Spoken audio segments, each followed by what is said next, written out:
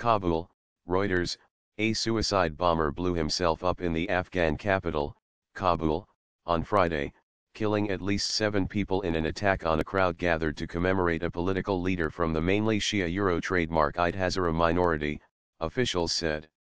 One policeman and six civilians were killed and 15 civilians wounded when the bomber was stopped at a security checkpoint in the Mozalla-e-Mazar area in Kabul, said Najib Danish, an Interior Ministry spokesman.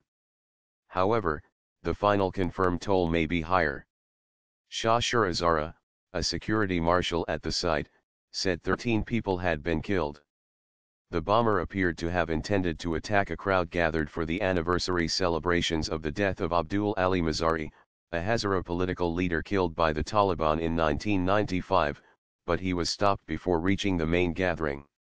While Afghanistan, a mainly Sunni Muslim country, has not seen the level of sectarian violence common in Iraq, attacks on Shia Euro trademark I targets have become increasingly common.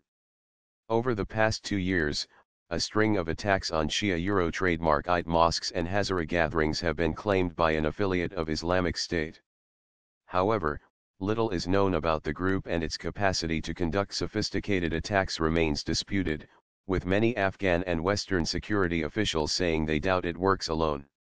In December, dozens of people were killed in a suicide attack on a Shia Euro trademark IT cultural center claimed by Islamic State and two months earlier two separate mosque attacks killed at least 72 people.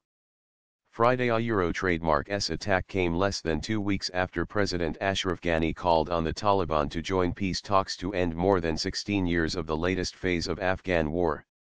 However, there has been no let-up in the violence that has been killing and wounding more than 10,000 civilians a year, and many more combatants, with fighting continuing across large parts of the country and Kabul itself hit repeatedly by attacks.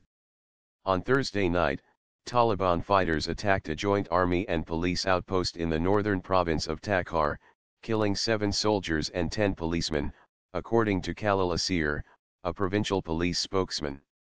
The Taliban said in a statement that 29 soldiers and police were killed in the attack, including four commanders.